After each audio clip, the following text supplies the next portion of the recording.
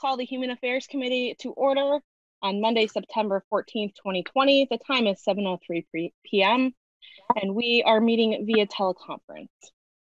As chairwoman of the Human Affairs Committee, I find that due to the state of emergency declared by the governor as a result of the COVID-19 pandemic, and in accordance with the governor's emergency order number 12, pursuant to executive order 2020 04, this public body is authorized to meet electronically.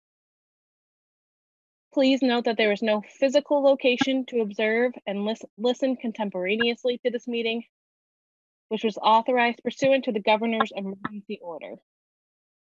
However, in accordance with the emergency order, I am confirming that we are utilizing Zoom and the meeting link can be found on the agenda as well as in the city's website.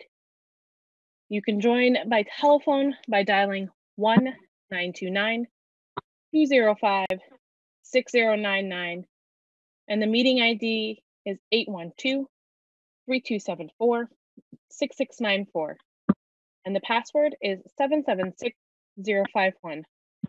The public may also view this meeting on Comcast Channel 16. If I could ask everyone on the call to please mute. I'm getting some feedback. Uh, we previously gave notice to the public of the necessary information for accessing the meeting through public posting.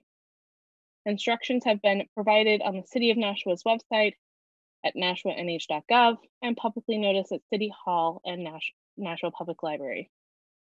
If anybody has a problem accessing the meeting via phone or channel 16, please call 603 821 2049 and they will help you connect. In the event the public is unable to access the meeting via the methods mentioned above, the meeting will be adjourned and rescheduled. Please note that all votes that are taken during this meeting shall be done by roll call vote. Let's start the meeting by taking roll call attendance.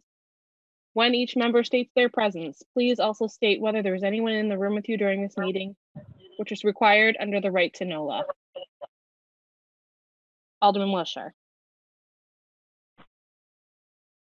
Thank you. Alderwoman Kelly.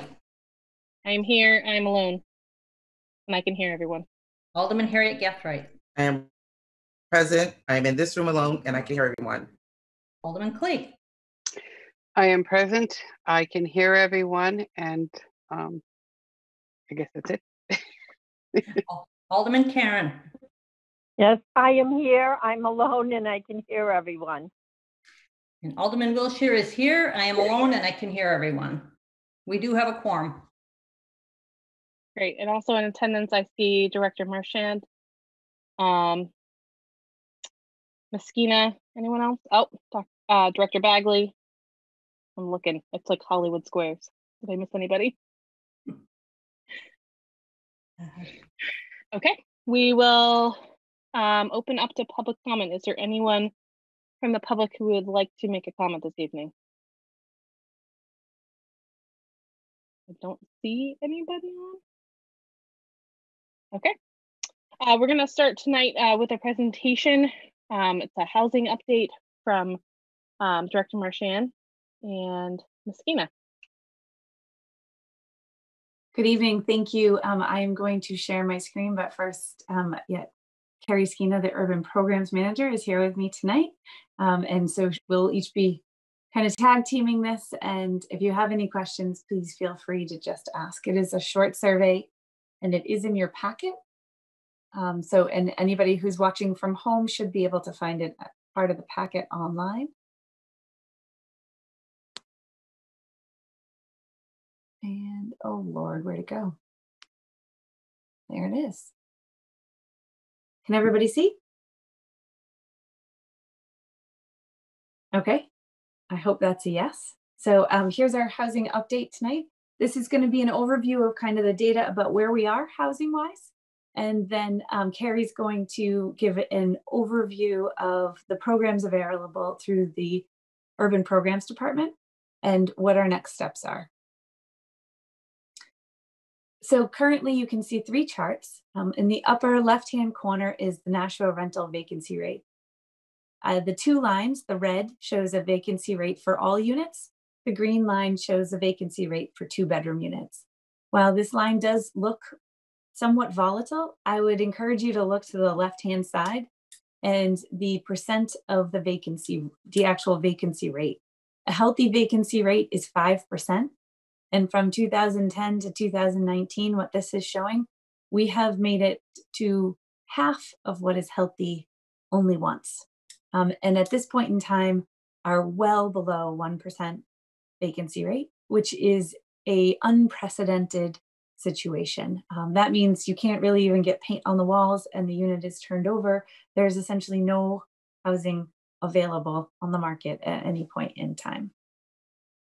The chart below that shows the rental distribution by the number of bedrooms. Um, the green line shows zero bedroom studio units, red lines show one bedroom, blue lines show two bedroom, and purple lines show the three bedroom units and their cost spread. I think one of the most telling factors here is that there's almost, there are very, very, very few units for $1,000 or less in the city. And the vast majority of units are significantly higher. Um, and so that absolutely affects not only the price of the unit, but the availability of the different types of units. The third um, map and graph, which is on the right hand side, shows the down shows downtown Nashua census tracts.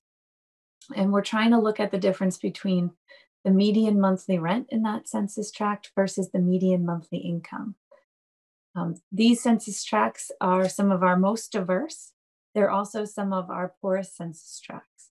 Um, and they have, oh, they are also some of our most dense. So there's more housing and people living in these areas than in many other parts of the city. If you look at the different um, tracks, um, just for reference point, because I don't know if a lot of people are used to looking at Nashua this way. On the far right hand side is the Merrimack River. On the left hand side is Route 3, and kind of cutting through the middle is the Nashua River. So, tract 107 shows um, is centered along Main Street, kind of bisects that in half with um, East and West Hollis Street, dividing it in half. And what you can see is that the, if we look at tract 104 in the table above, that the median monthly rent in this census tract is $1,250, but 30% of median income for renters is closer to 950. So that's almost a $300 a month difference in what the average rent is versus what people can truly afford. And that disparity is shown pretty across the board for all the census tracts in our downtown. Um, the 30% of monthly income is a federal standard that's used to say that is a safe place to be spending um, your income. And above that is, is a significant, becomes a significant financial hardship for a family.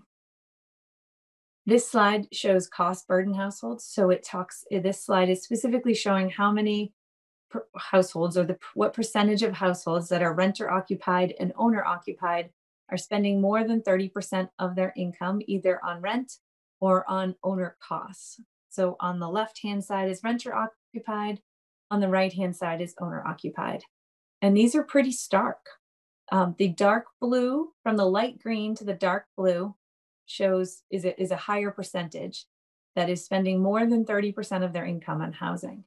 The darkest blue is shown in more than the half of the census tracts in Nashua, where greater than 50% of the people in that tract are spending more than 30% of their income on housing every month.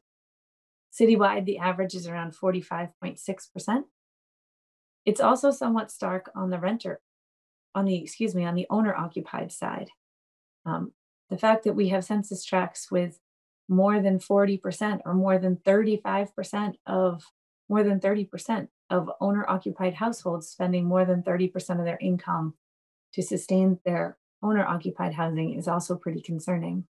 You can see the areas of overlap between both of these, again, concentrating in our downtown, but also in different sections of the city, depending on the where they are, if it's renter or owner occupied. Switching a little bit further over into the owner occupied side, this is just some data for um, if you were to try and buy property in the area right now. So the chart on the upper right-hand corner shows residential property sales over the past almost decade.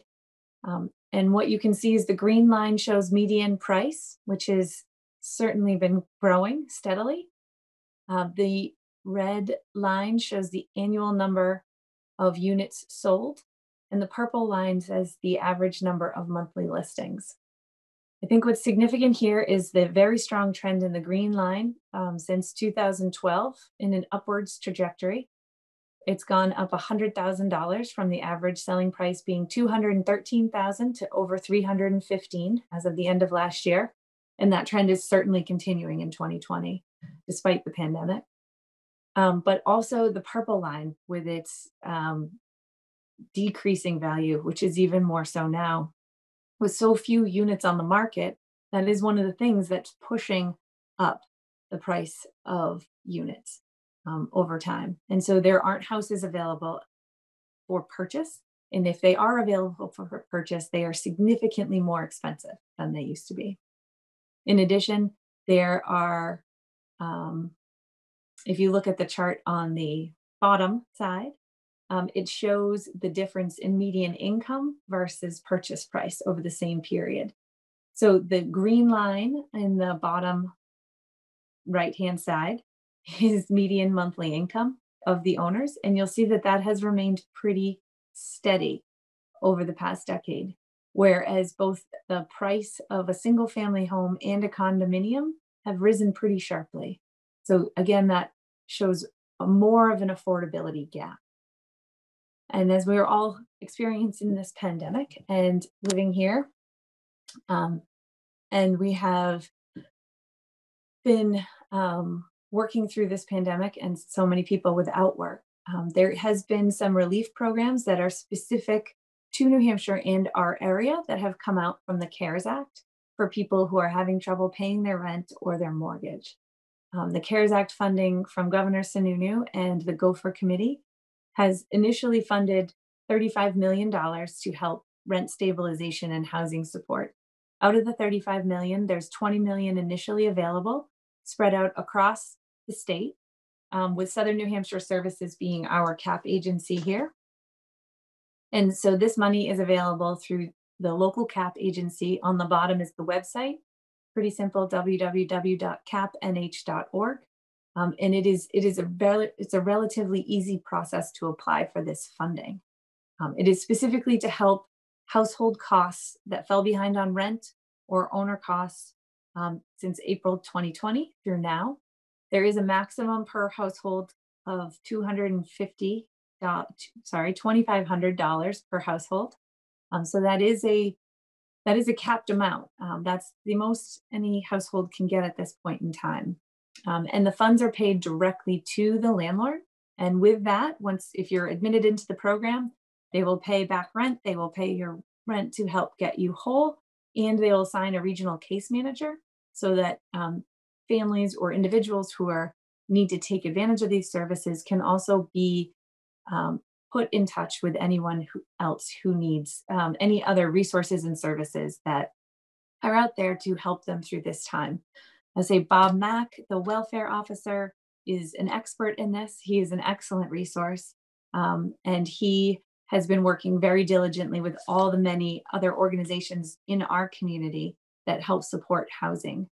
Oh, so these, um, there's an amazing network of um, community groups that really support housing. And um, I think there's, there's quite a few people you can reach out to here in Nashua. With that, I'm going to pass it over to Carrie about some of our city sponsored programs. Hi, everyone. This is Carrie Schena, manager of the Urban Programs Department, um, which was is within community development. Um, so this slide is quite busy, but um, I put it in more as something that people could go back and reference, um, not necessarily to take it all in uh, live, but basically out of urban programs, we have um, kind of three pillar programs. We've had an owner occupied rehab program for many, many years. It's a very traditional program that communities do with their community development block grant. And that is geared toward low income property owners who live in homes that are one to four units. and we can cover those rental units as part of the, the house. It's a 0% interest loan. The loans are deferred. We often do subordinate to them if somebody's going to refinance later on down want to get themselves in a better position. Um, we encourage that. And typically they are repaid when the property is sold. And then that money comes back to the city and goes right back into the fund to go out to other uh, rehab projects. Uh, we have a new program that we piloted last year that was very successful. Um, it started with just a small amount of money, um, roughly 65,000. Um, we have that at 150,000 this year. And so we're looking forward to rolling that out. There's a huge demand, and as Sarah was talking about with the affordability issue, uh, we have a lot of existing and landlords, uh, although they are collecting rent, they're have a cash flow issue. And it's very difficult if you're charging a low rent to a low income tenant to be able to do those large capital projects. And often we're seeing that those projects get deferred until it reaches a critical point. So this program was created. It was um, based on a lot of feedback from the community and from community partners during our consolidated planning process, both five years ago and then more recently when we just did our new and that again is a 0% interest loan program. It's a little bit less money. It's 20,000 for the first unit and 5,000 for each additional. And we'll enroll properties up to eight units on that program. So we're not looking to do like the large multi uh, families that are, you know, managed by professionals. These are more your mom and pop property owners um, that, we want to get. And Nashua has a lot of smaller multifamily properties that are owned individually. That is for critical repairs. Um, so it's not a, you know, it's not a home like a renovation type program. It truly is, you know, if the heat has broken, if the electric's not up to code, roof is leaking, we want to keep people housed in those units. And this loan program is geared toward that. And we ask that the owners do contribute some match. Uh, the other program that we have is also um, HUD funded. It's a competitive grant program that the city applies for. It's our lead paint and healthy homes program. And we're actually in the process of winding down our current grant. We're doing all our last few properties now, but we have resubmitted a new application for $5.7 million, which would be a very large volume um, lead program that we would like to have awarded. We should find out about that in the next few weeks. And we look forward to um, reinstating that. Hopefully, our application will fare well. And we usually pair that with both of the other two programs listed on the left. So we really try to weave and braid the funding to leverage it and have it spread as far as it possibly can to address all the issues.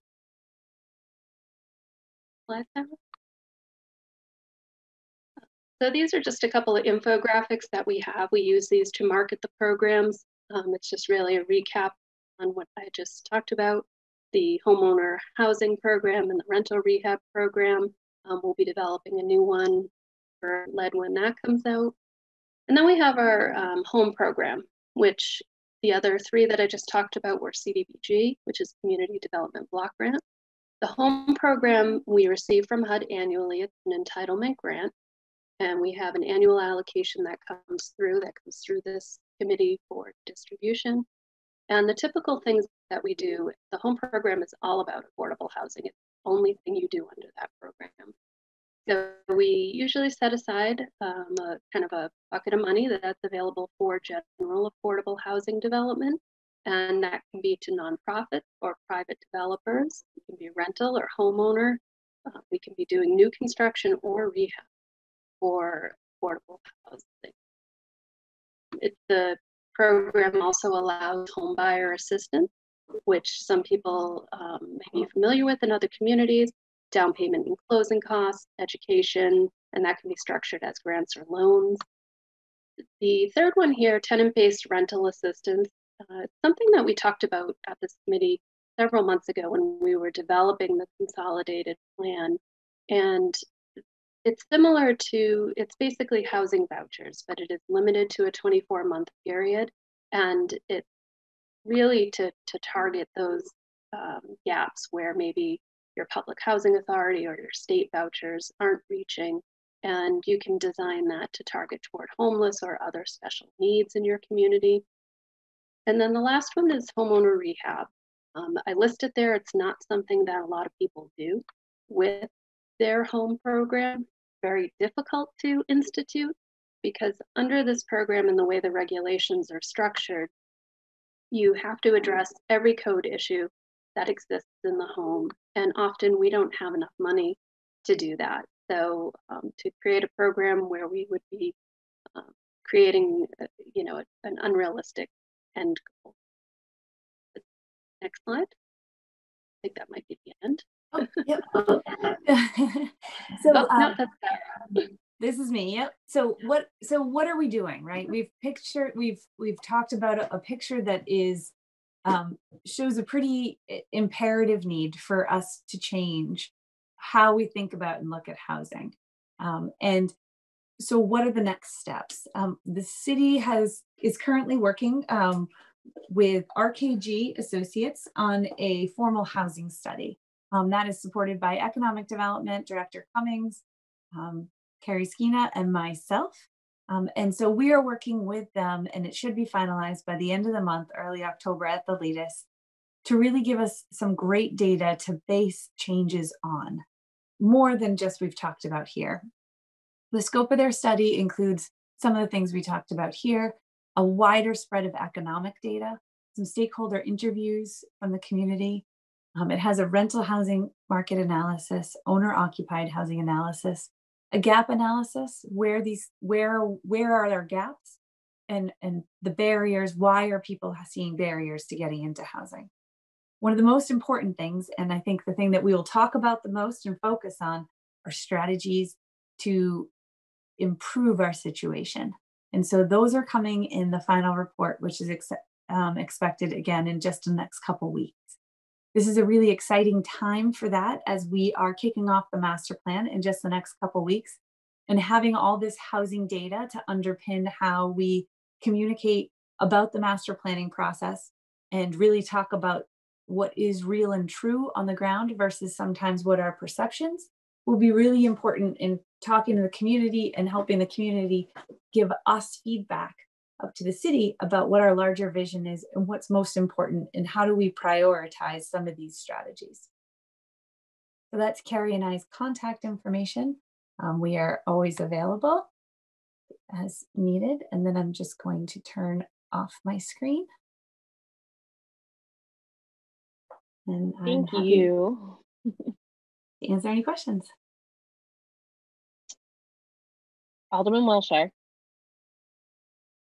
Thank you, Madam Chair. Um, do, what is the company again that you're working with on this study?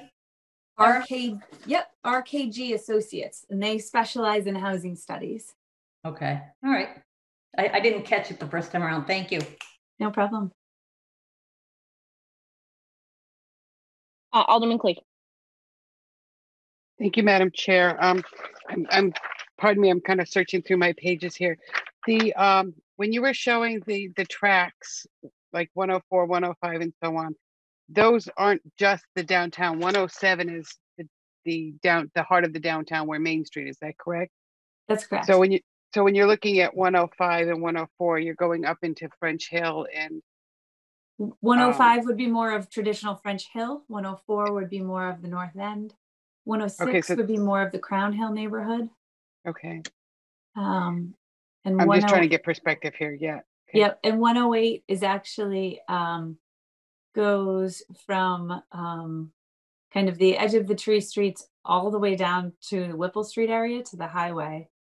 Um, Okay, so when you were when you were talking about, um, I'm just going to take 107 for instance, um, and you were saying that there's a population of um, 1,507 people with housing units of 918. I'm reading this correctly, right? that is correct. Uh, yes. And and you were talking, and and I think I had kind of lost my um, lost my brain here for a second. You were talking about the median income and so on. So when I look above that, and I'm looking at the the, the blue and red bar graphs, if I were to look again at um, 107, if I'm reading this correctly, it's showing that um, the the blue would be the monthly rent and the uh, red would be the 30% of median monthly income renters.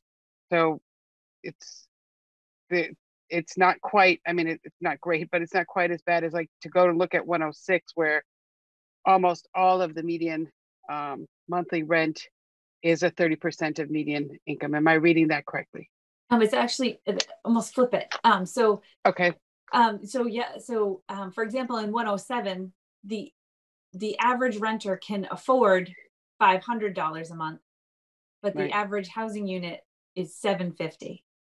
So they have a deficit of two hundred and fifty dollars a month that they are paying above and beyond thirty percent of their monthly income.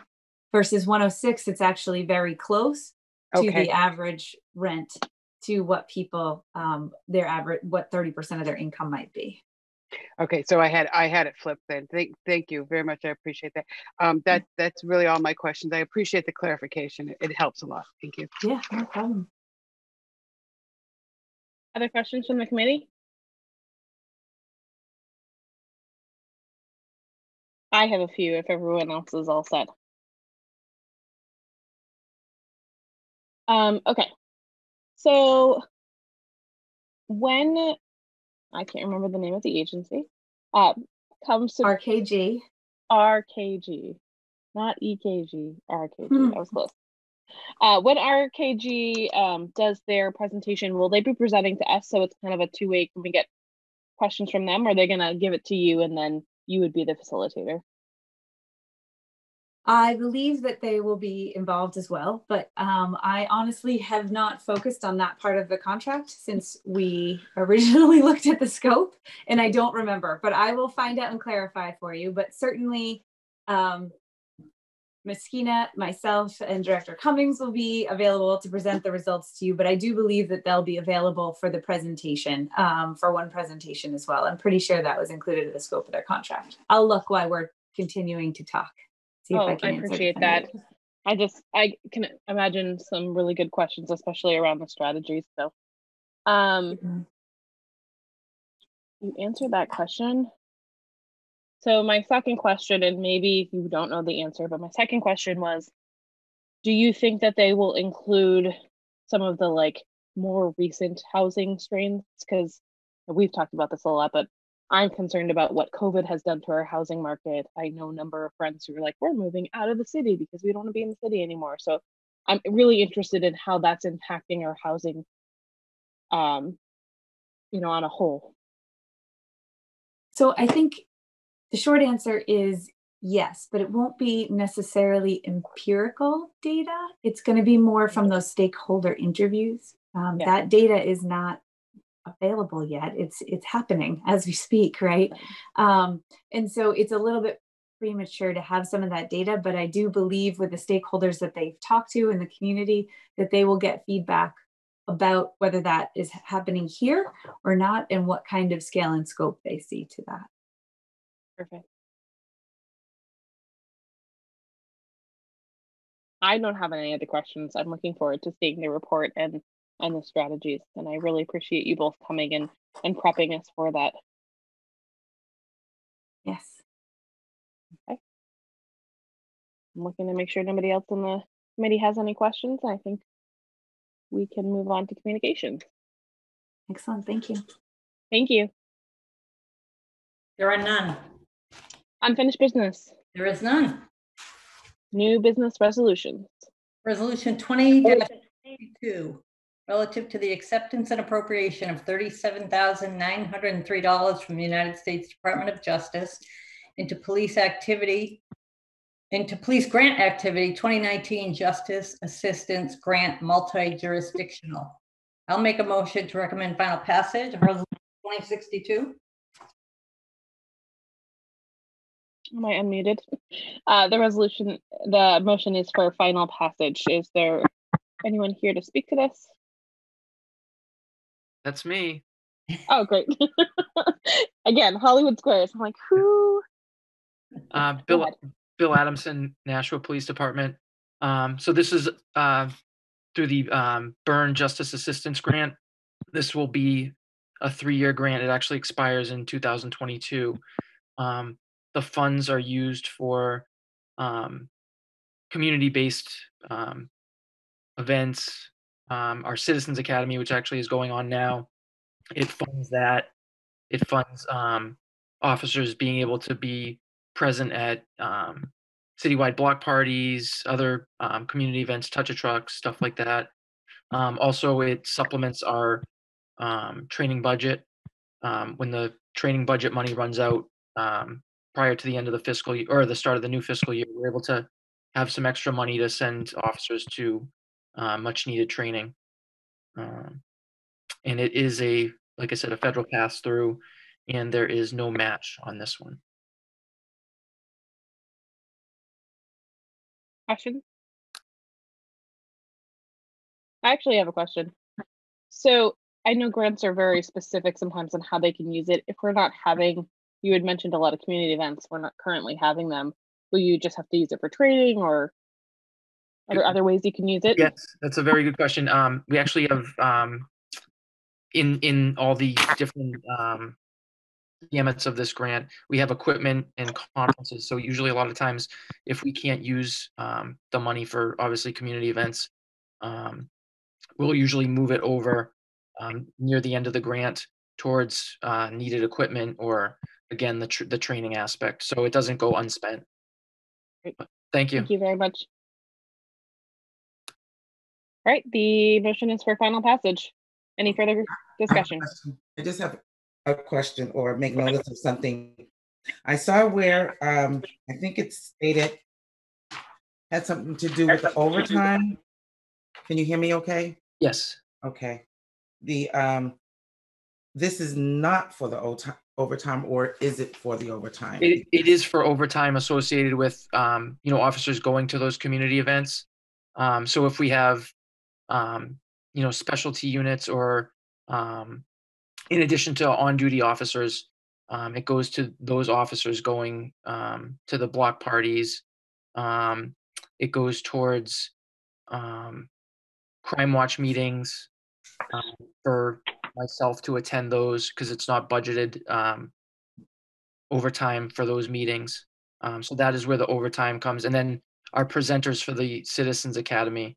Um, not all of the presenters are on overtime, um, but some of them do come in off duty. Okay, but I think in the fiscal note, it said it's not for like the pension and that type of thing, right? Oh, correct. Yes. Uh, no fringe benefits are in this. We Right, so we absorb that in the budget. strictly the hourly. Okay, Yes. thank you. Any other questions or comments? Okay, can the clerk please call, call the roll?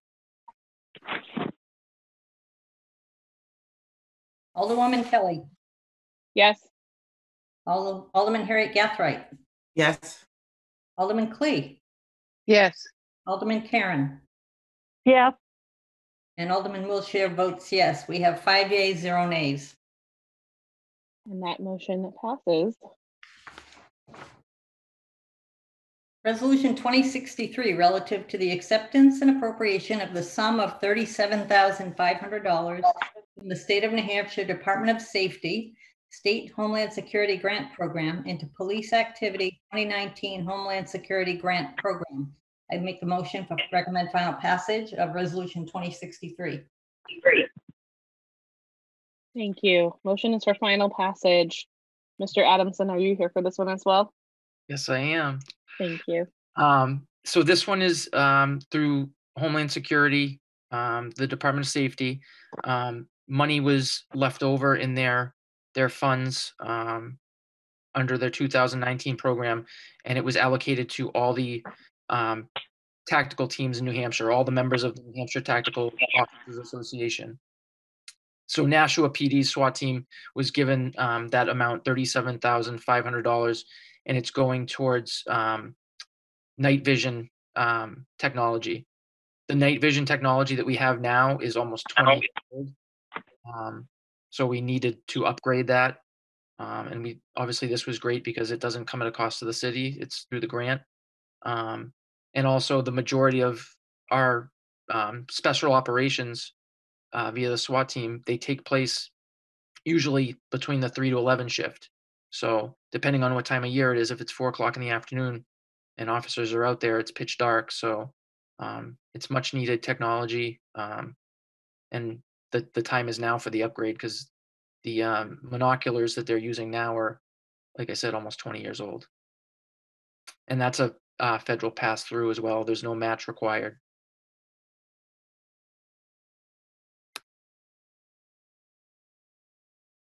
Thank you. Are there any questions from the committee? I don't see anyone, so please call the roll.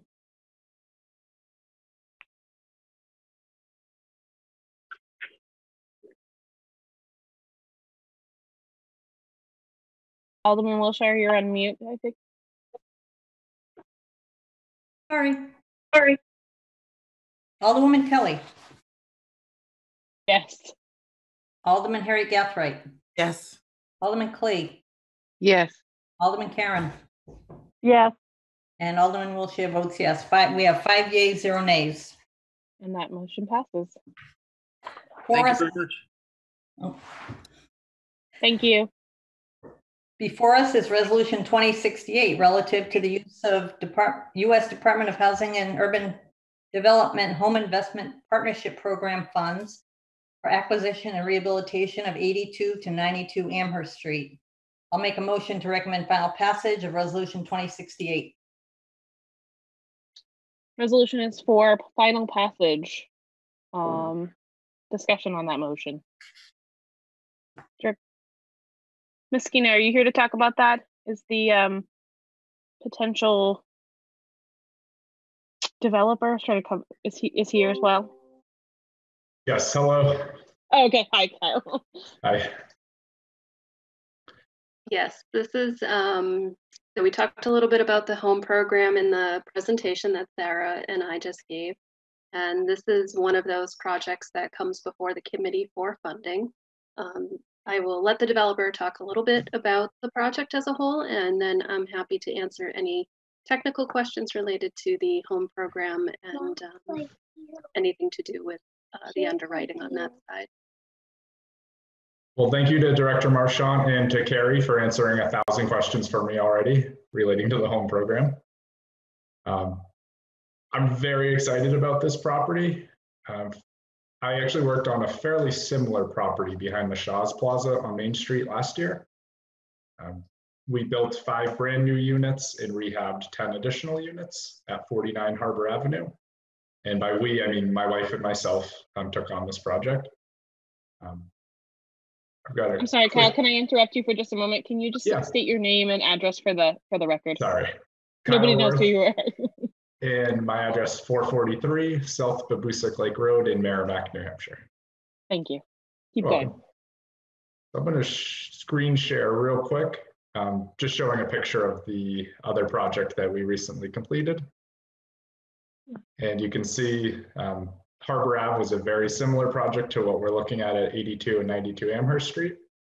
Um, we purchased the building with bullet holes through windows, vandalism all over the outside, and there were multiple squatters living on the first floor. And after about a nine month renovation, we completely redid up and downstairs, um, everything from new utilities coming in and out of the building, siding, windows, really remodeled the entire place. Um, Here's an interior before picture and the same space after. Um, I just share that to show um, prior to applying for home funds, um, I already got the passion for affordable housing in Nashua.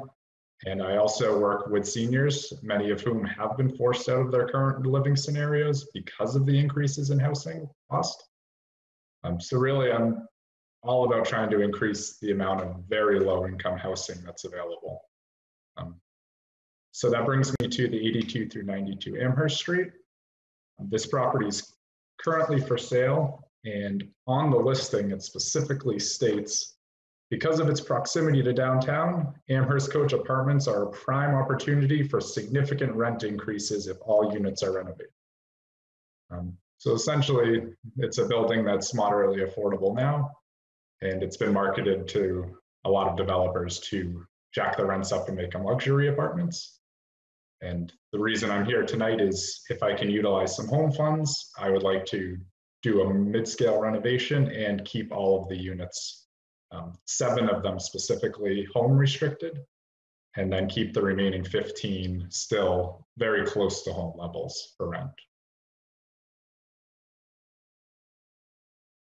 Um, Yes, I can't picture or visualize where this project is. it's right across from Holman Amherst Stadium. I'm sorry? It's right across from Holman Stadium. They're long two to three story townhouse style units. Oh, Oh, yeah, Yep. yeah. Is it about like I um, was I was on mute before. sorry. Cumberland Farms? Does it Yes, go? exactly. Okay, I'm familiar with the property. Thank you so much. You're welcome. And inside does need uh, mostly cosmetic things, um, but it needs a significant amount of work. Um, its last update was in 1975. So there's lots and lots of deferred maintenance. And I'm a strong believer that just because they're affordable units doesn't mean they have to be substandard. I prefer that they were actually updated, safe, and clean units for people. Alderman Klee. Uh, Thank you, uh, Chairwoman. Um, When you, um, uh, Ms- Mr. Worth, when you, when you reference it, you say that seven would be um, home price and the, and 15 would be close to home price. For those that are listening, could you kind of explain what you mean by that? Exactly. So for studios, the home rental units, we would have those around 885 a month for a renovated space. Um, the non-subsidized, we would have at 950. One bedrooms, we have listed at 1025 for the home units and 1150 for non-home units. And two bedrooms were 1225 for home units, 1295 for the non-home units. Um, So compared to the charts that Director Marchant showed at the beginning, especially for tract four, um, they were significantly lower than other rents in the neighborhood.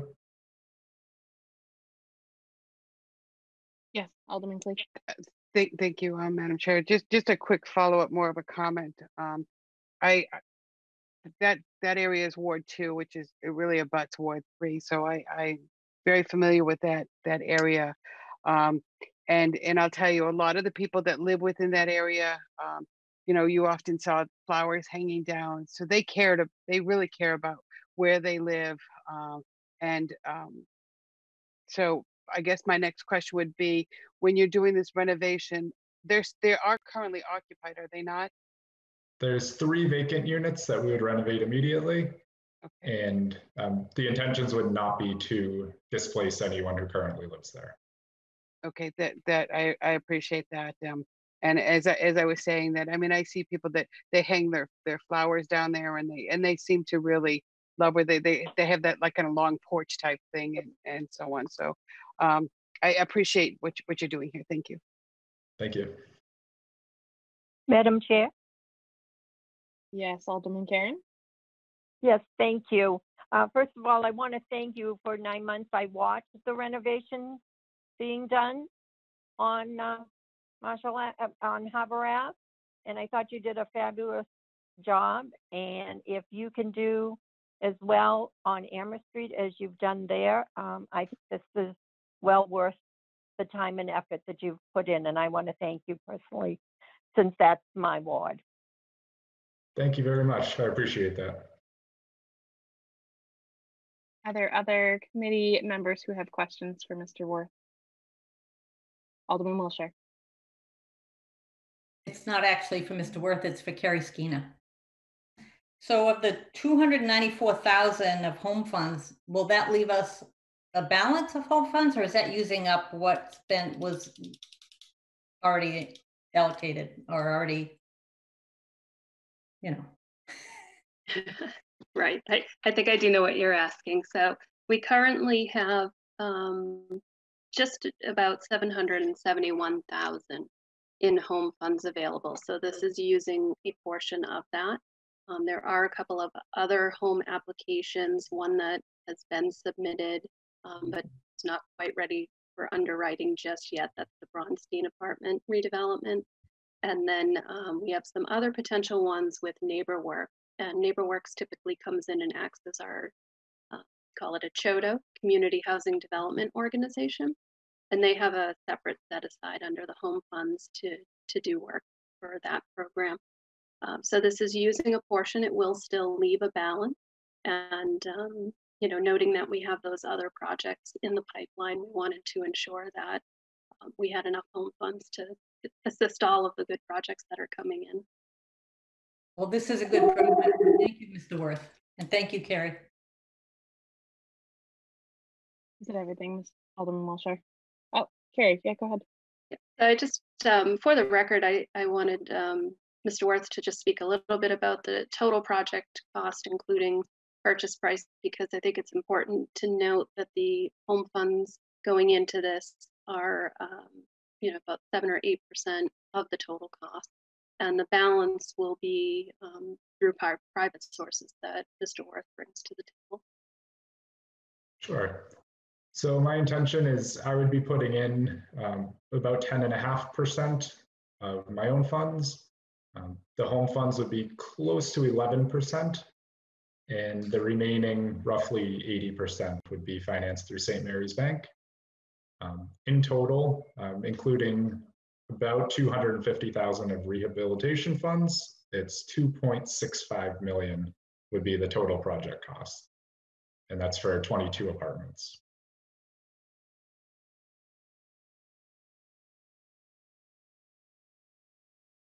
The committee is all set, I have a, a list of questions, but I want to make sure there's no more out there.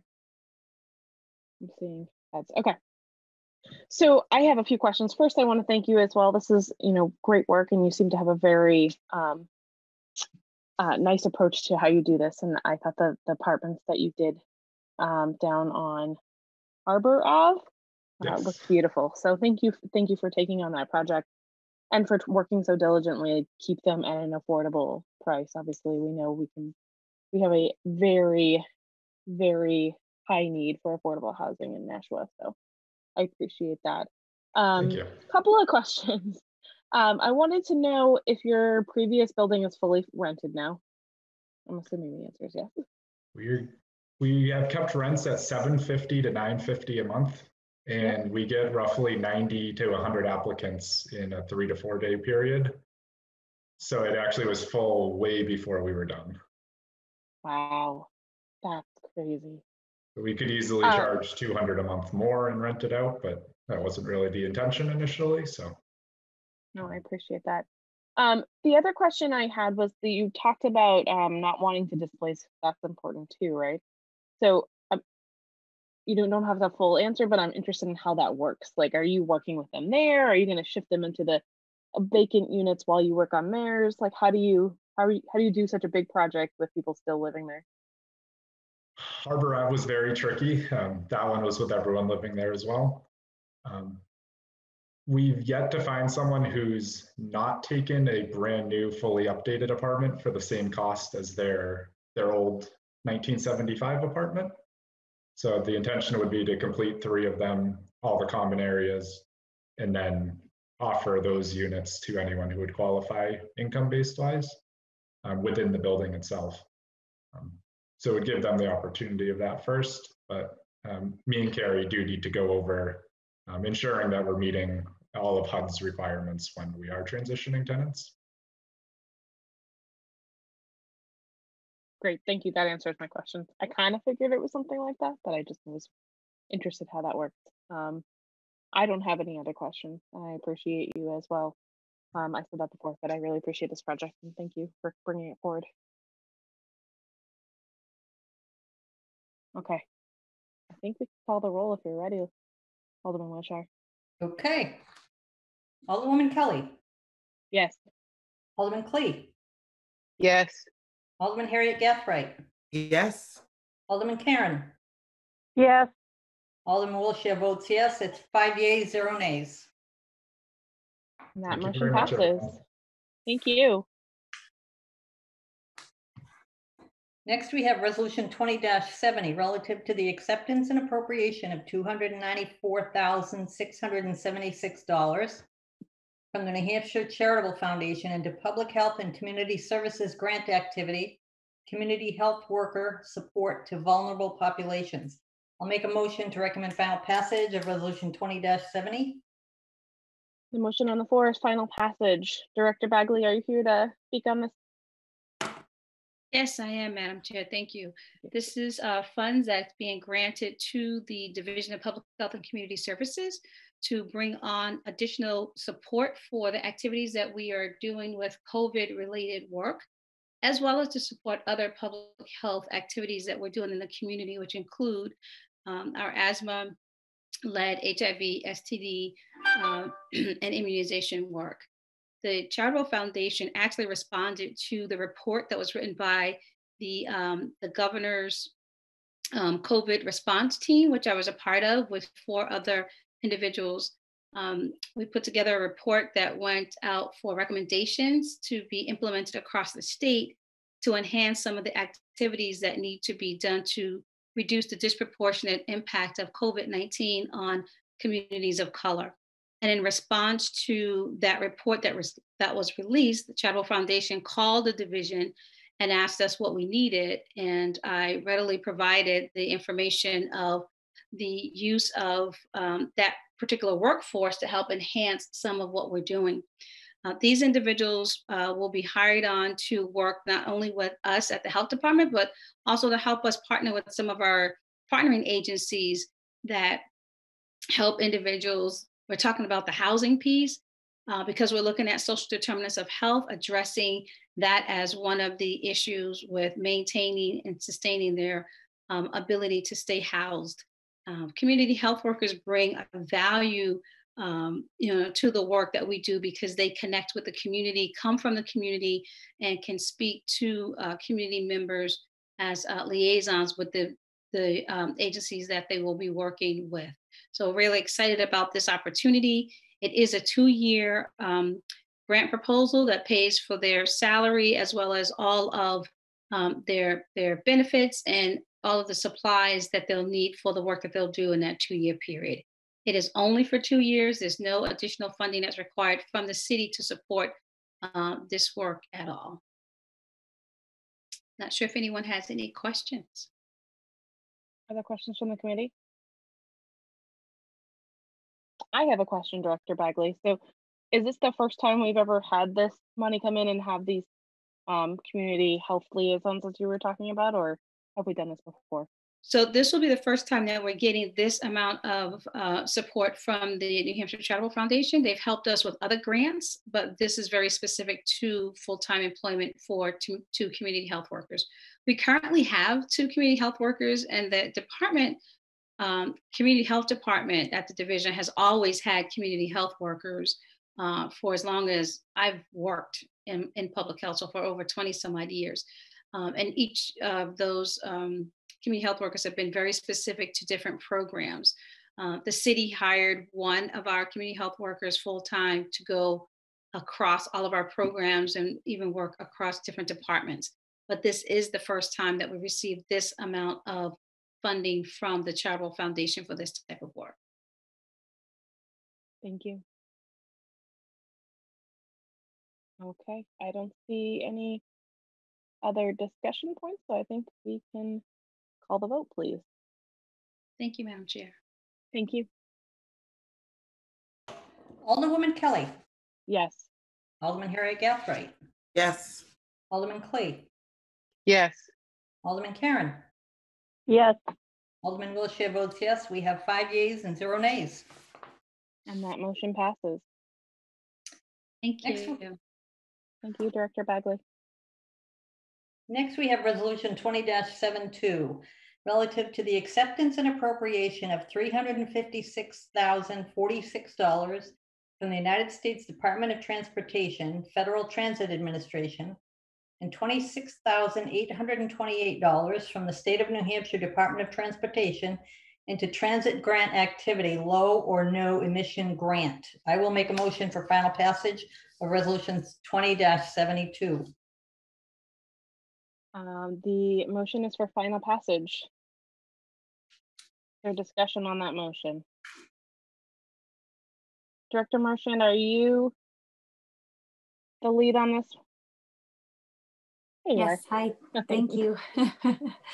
Um, This was a uh, nationally competitive federal grant that um, Camille and her team um, worked on and pulled off, I must say, in the middle of the COVID disaster in May. So massive kudos to her and her team for pulling this off. Um, And so we have been awarded a NOLO grant um, in the amounts you recited. And it will go towards buying um, two electric hybrid um, vans and also to adding um, electric charging stations over at the transit center. Um, and so it is a great opportunity for transit and um, the matching funds are provided in the escrow process. Great, thank you. Um, Alderman Klee. Uh, Thank you, Madam Chair. Um, I just have a really quick question. Um, when we purchase these via the grant, will we be retiring any, or are these going to be in addition to what we currently have? No, that's a great question. Um, these are planned replacements of um, of very old ARBOC vans that we have. Um, we had started. I don't know if you remember, uh, about a year and a half ago, we entered into contract with Champion to re- to um, replace a chunk of our vans um, because they are all over 14 years. They're past their useful life, and so that was a grant that we got at that time. Um, but um, now we are um, now we've gotten this grant to replace a couple more and we're trying to really diversify um, and not just be diesel or gas based at this time so this was a great opportunity through the no or low no or low emissions national competitive grant to do so One more follow-up question, Madam Chair. Of course. Thank you very much. Um, the, the other question I have is, do you know offhand, um, how many va- vans do we have in our inventory at the moment? That we that's a great question. I believe let's see if i my cheat sheet is right here. Um i think we have um a total of 20 i believe we have 21 or 22 vehicles at the moment. That would be the combination of the fixed fixed route fleet sorry little tongue tied the and the paratransit vans. It also includes um the the two just regular vehicles that we use for um, di- many different types of things so yes. Well, thank you very much, and I, I definitely am very in favor of this, so thank you. and we will sell the vans that um, we are retiring um, and those proceeds go back into buying new vans they don't make much they've got a lot of miles but every bit helps Thank you. Mhm. Are there additional questions from the committee? I just have a comment. Um, I just wanted to say thank you. You said Camille. Thank Neil you to your team. the Yeah, transportation manager yes just thank you for going above and beyond and getting this done. I know we're, as energy environment committee member, I know that we're trying to get closer and closer to zero emissions as a city, and this is one small part of it. So I really appreciate that, and I'm obviously very in favor of this.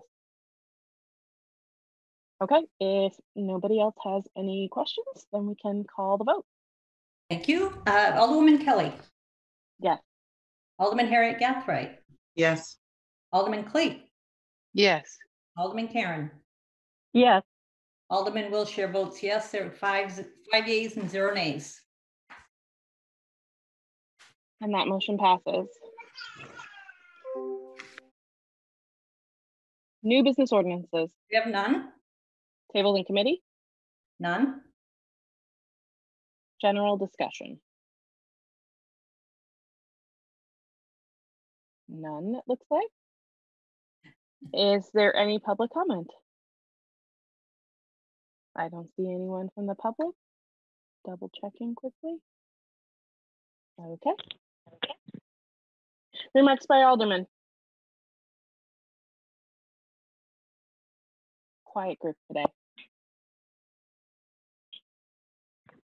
Oh, Alderman Wilshire. Thank you. I, I want to thank uh, Director Marchant and Carrie Schena for um, working on the housing study. I think it's really important right now.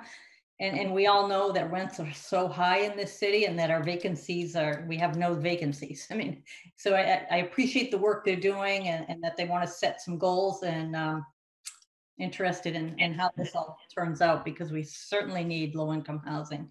Thank you. Alderman Klee.